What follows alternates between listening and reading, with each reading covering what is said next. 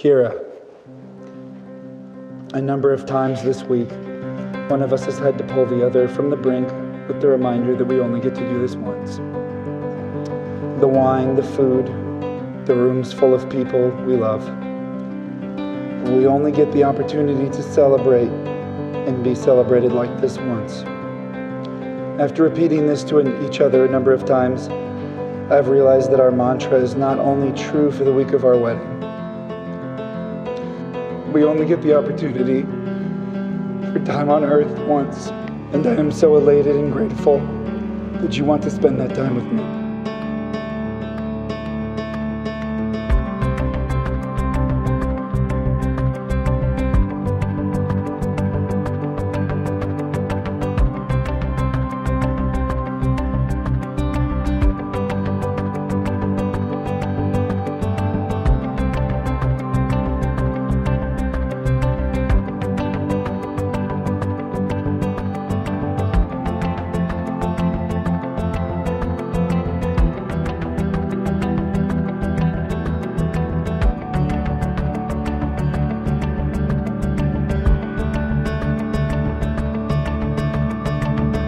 Love is not two broken halves becoming one. It's the light from a distant lighthouse bringing you both safely home.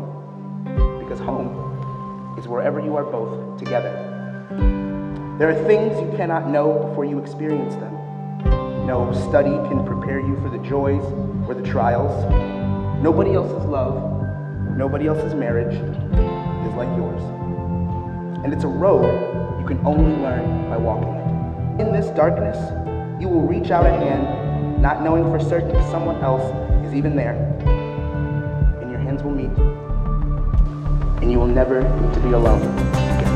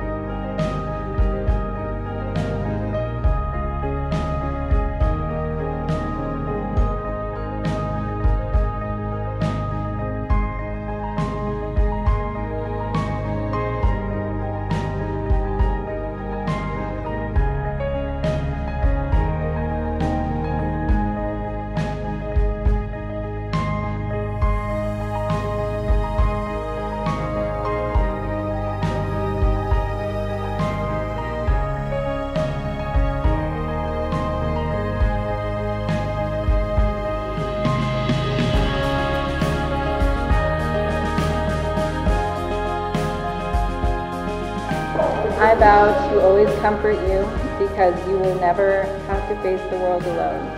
And I vow that when hardships arise, we will always find our way back to each other.